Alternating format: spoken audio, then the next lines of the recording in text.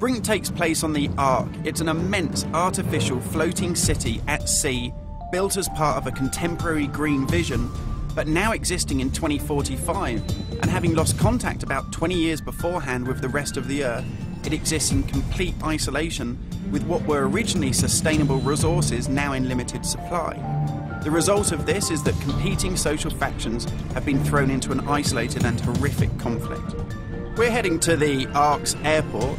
This was the original location that celebrities flew in and out of and had their photo opportunities, but it's also because it's been deserted and disused for 20 years, the ideal location for me to show you a couple of the game's features in the absence of any enemies. Now, Brink uses those same familiar shooter controls that you're used to, but without the artificial constraints because we've developed a new system that we're calling SMART. It stands for Smooth Movement Across Random Terrain.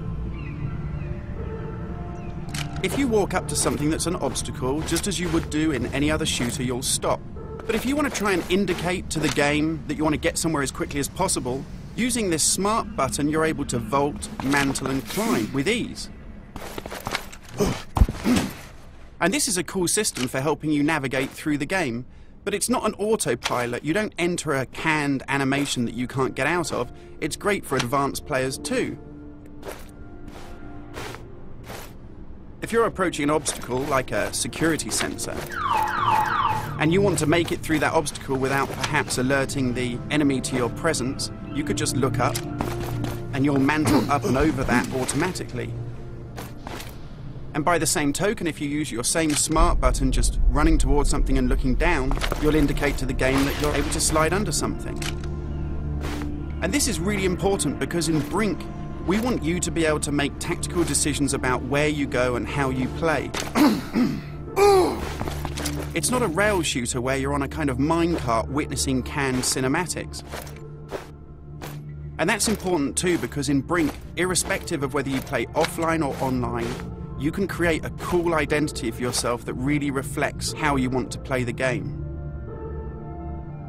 So in Brink, you take on a combat role that suits your preferred playing style, whether you're on the front line attacking the enemy or perhaps at the rear doing support.